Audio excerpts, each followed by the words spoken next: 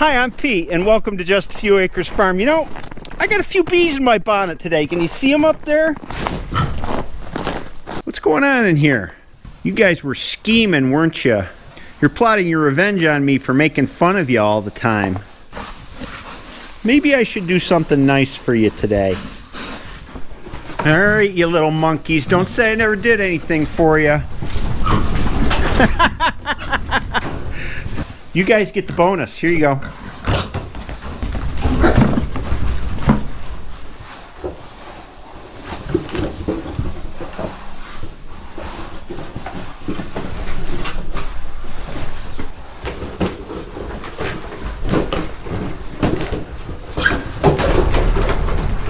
Huh. Must be Amazon didn't send them what they wanted. They're pretty ticked.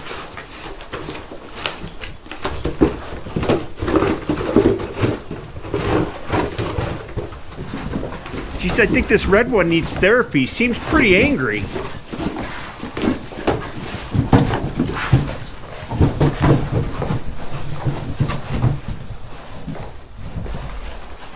I remember when our kids were just as happy as these pigs when they got a big box. That ain't the case anymore.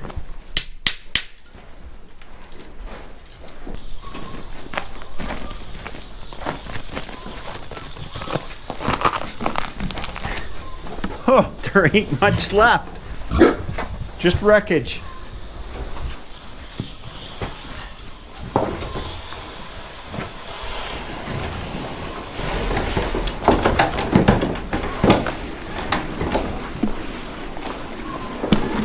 Oh.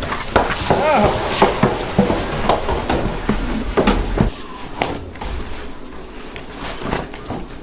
There's something to be said for the way that we water, which is to pull a hose out and wait for the barrel or the tub to fill up because it gives us a chance to look at the livestock and that's something that you can miss as a farmer. You know you need to watch your livestock every day and standing here while the drum's filling up is a good time for me to look at all the pigs make sure there's nothing wrong with any of them see how they're growing if i just had to turn on a valve and walk away i might miss that opportunity plus it's not like i really mind pulling a hose out and watering and then draining the hose because there ain't a whole lot to do in February except working in the shop.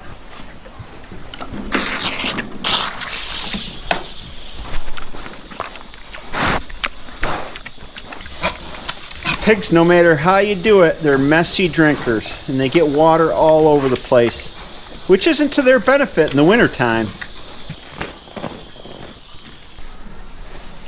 There are some people that would argue that the best kind of farming is all about finding the most efficient way to do things. Well, not in my book. Farming is about watching and observing. Those are slow things. And it helps you if you've got something to keep you busy while you're doing it, like watering the pigs. My life ain't all about finding the easiest way to do something, that's for sure. Heck, sometimes you find the easiest way to do something, and then from then on, everybody demands that you do it the easiest way. That's why I think that the way the world's going is kind of a race to the bottom.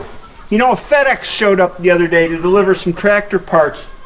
FedEx used to be this spotless service. Drivers in uniforms, always clean trucks, no dents. This truck showed up with its rear fender hanging off. The driver got out in a pair of sweatpants. He was just some pimply faced kid.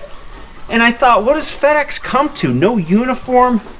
Then he was such a poor driver, he drove in a snowbank on his way out, and I had to go get the tractor and pull him out. I thought, you know, everything's a race to the bottom. Do it faster, cheaper, and what happens? As consumers, we wind up suffering, but we're the ones who are demanding that. We want it cheaper, so we're powering the race to the bottom. It's just stupid. It's stupid there's nothing I can do about it. I guess that's one of the reasons that I don't go out too much anymore. I stay on the farm. Well, I get ranting here, and I'll probably have ice in my hose the next time. Pay attention to what I do.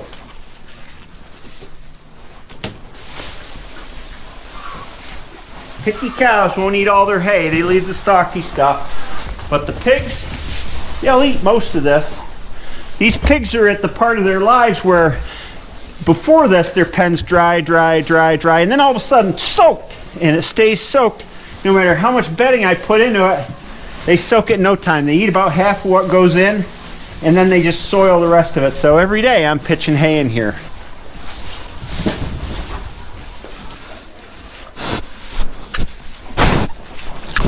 Hey. A man wakes up in the hospital after a serious accident and he says, Doctor, doctor, I can't feel my legs. And the doctor says, I know, I amputated your arms. That's awful. That one is pretty bad, isn't it? It might even be below my standards. oh well. So there have been some people that commented on the videos that said that I'm subjecting Hilarie to cruel and unusual punishment by making her sit for my jokes. And I thought it'd be nice to do a little interview and find out how Hilarie thinks about them. Oh, I think they're funny. Some of them are kind of bad. You know what I need is the barn pal that comes out and kicks me in the butt like in the old episodes of Hee Haw after they told the joke. That would be due punishment for me. For all you who hate my jokes.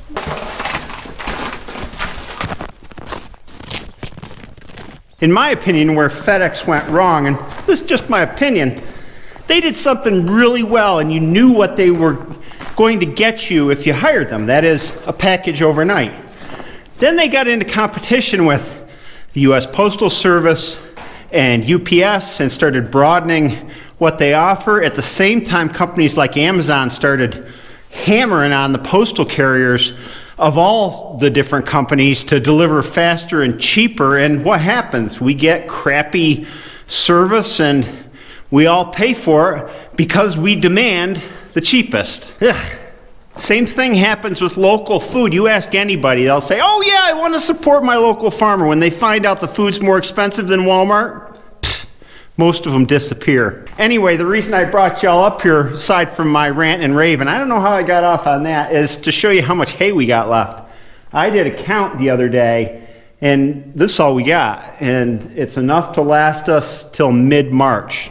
Hay feeding season here lasts till mid April at the earliest, sometimes late April. So I'm not sure what I'm going to do about hay. I'm starting to call around to other local farmers to see if any is to be had. So far, I haven't found any, and probably what I'm going to find is going to be expensive. But cows got to eat, so that is the problem at hand.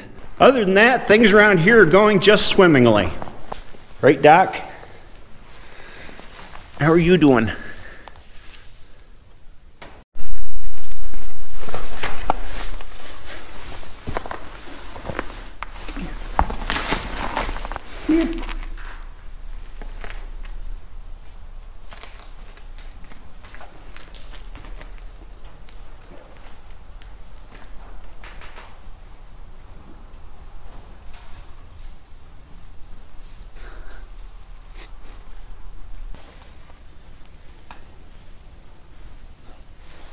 I let them come to me on their terms, not mine. See? It takes a while.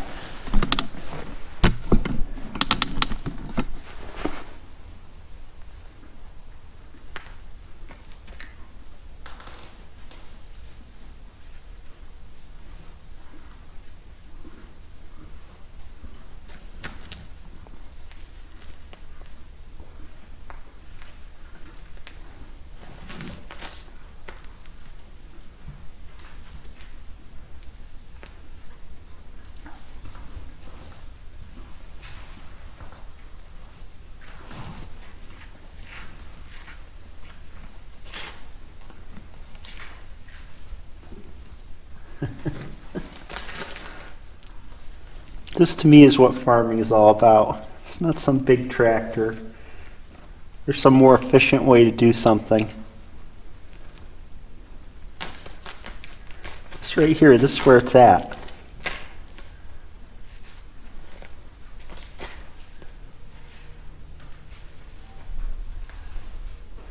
You're turning into a little character. Used to run to the other side of the barn when I came in.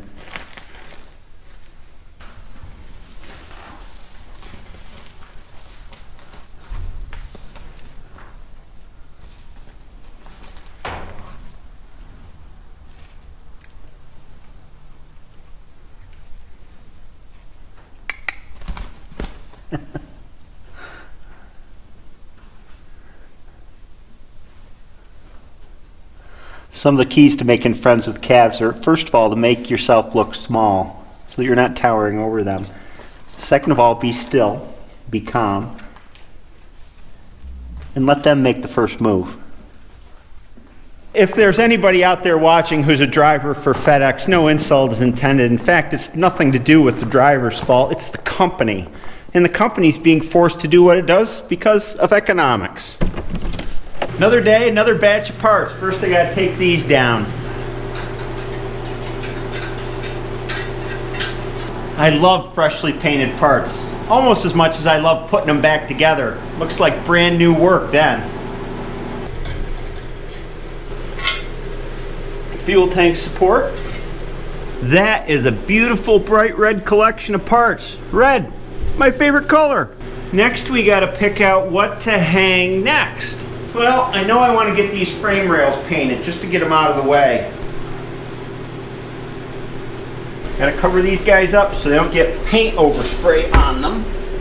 This is my second batch of parts to paint. I hung more than the first batch and actually I'm getting down there after only two batches. This is what I've got left. Of these parts, most of them are going to get painted on the engine.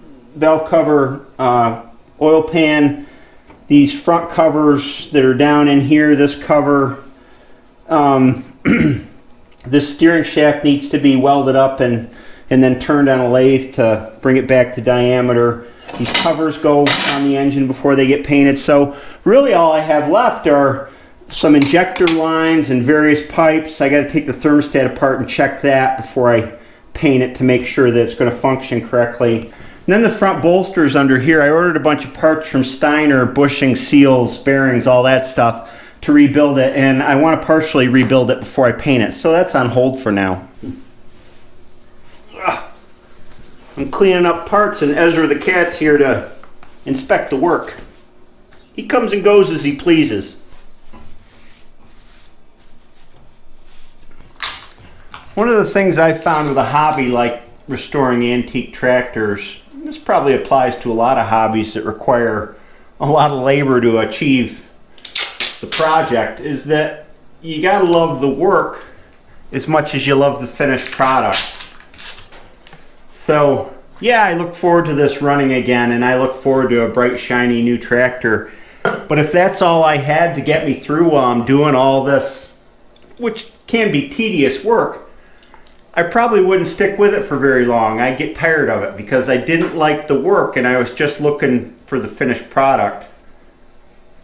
I find the same thing applies to clock repair. I spend hours and hours some winter working on old clocks and I enjoy the work as much as the finished product. I think that's something that's probably lacking in our culture these days. Instant gratification is the order of the day, right? So you know, it's like playing a video game. You know, you get that instant gratification every so many seconds when you play a video game and it keeps you playing.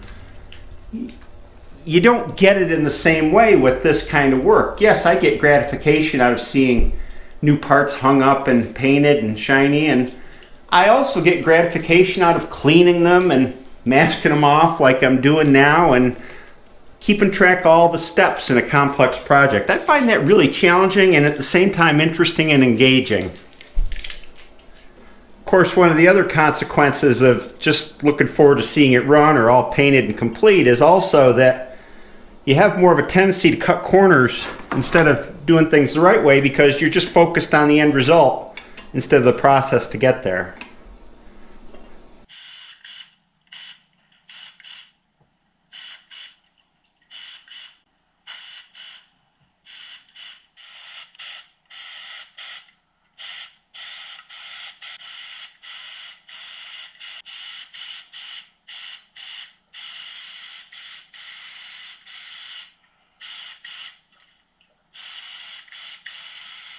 Here's another batch of shiny parts. Oh man, I love it when I get to this stage.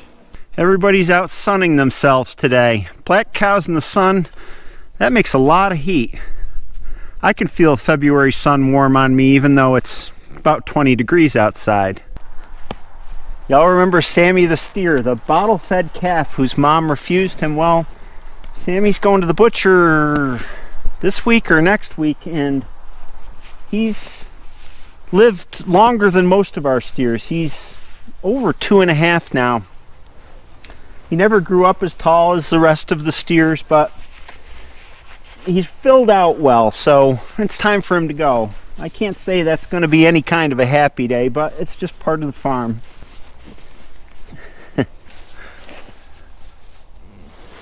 he's getting that look just like a bull's got.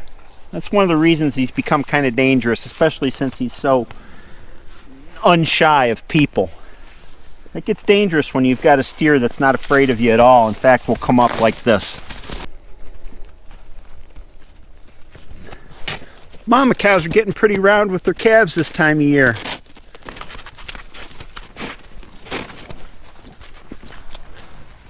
It's nice to see that the animals are all doing okay. You know, there's a lot of screwy stuff going on in the world, and I sure am fortunate to live on this place and not be affected by it as much as I might be. And I hope the same for you. I think if we all just keep our heads, we'll be all right.